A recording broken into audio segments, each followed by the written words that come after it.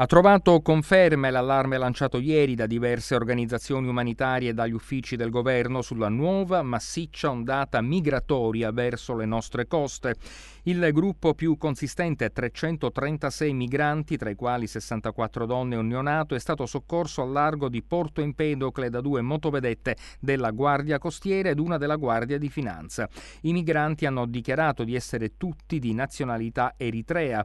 Un secondo sbarco è avvenuto invece su sulle coste siracusane, nei pressi della spiaggia di Ognina. Una cinquantina di uomini che hanno dichiarato di essere siriani e pakistani sono stati rintracciati a terra dalla capitaneria di porto dopo una segnalazione. Hanno raccontato di avere viaggiato in mare per circa dieci giorni.